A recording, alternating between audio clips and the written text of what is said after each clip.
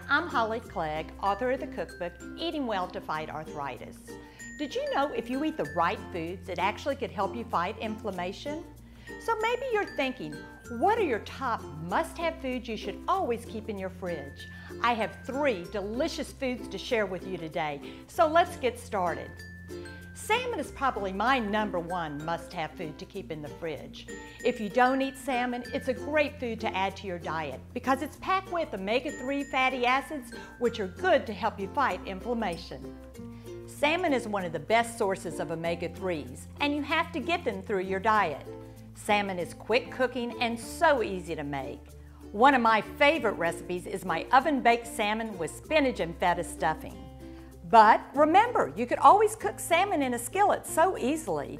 Glazed salmon is a quick cooking four ingredient recipe with a sweet glaze. Raw salmon lasts in your refrigerator one to two days after purchase date on package and cooked salmon lasts about three days. My number two must-have food to keep in the fridge is edamame. So if you're not a fish fan, no problem. Try edamame, or maybe you know it as soybeans.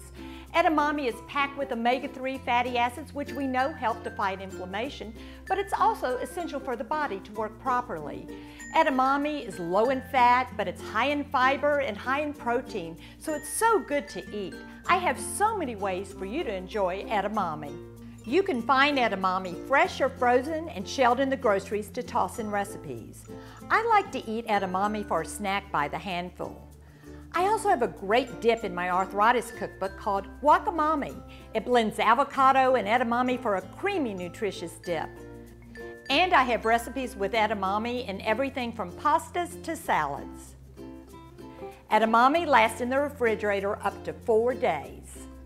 My number three must-have food to keep in your fridge is citrus, Oranges, grapefruit, limes, and lemons are a great source of vitamin C, and research shows that citrus high in the antioxidant vitamin C helps prevent inflammation and also plays an important role in growth and tissue repair. Start your day with a glass of orange juice. Have grapefruit for a morning breakfast or even a snack. Add lemon or lime juice to a variety of foods, from salads to marinade. Citrus will last in the refrigerator for several weeks to one month. So remember to stock your fridge with these three must-have foods. Salmon and edamame are packed with omega-3 fatty acids and citrus is full of the antioxidant vitamin C.